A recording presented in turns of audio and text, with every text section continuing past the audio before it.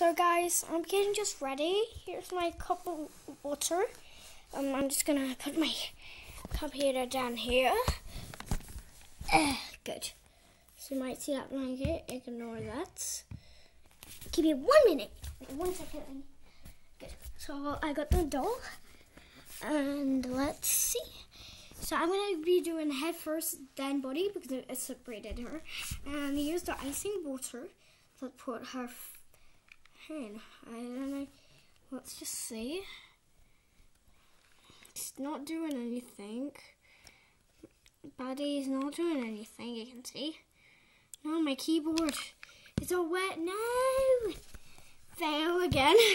Sorry, I'm gonna put you guys up. I'm gonna have to take my shirt